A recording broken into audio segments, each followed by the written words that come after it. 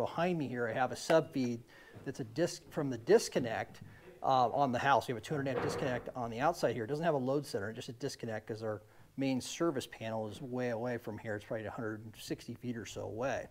So put it, if you were just to put this in with, say, MC cable, like a 250 KC mil um, size wire with MC on the outside, you're going to end up having really high fields whenever you get a high amperage flow. Your current's flowing through this, um, through that cable all the way up to your sub panel. So what the recommendation would be is to get rigid conduit. This is going to knock it out. It'll it'll make a 10 times difference on the reduction in the field that you get. So we had an issue above me here where they had this conduit is running, it wasn't a conduit, it was actually MC cables running up in this floor system and it's getting into the floor. So that field was going through the floor even though we were down 18 inches.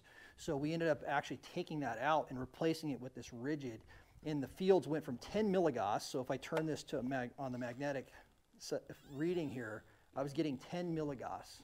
So you can see it's reading 0.1 or 0.2 right now. 10 milligauss, and it, now it dropped it down to where we were around like 0.3, 0.4 in that same location instead of 10.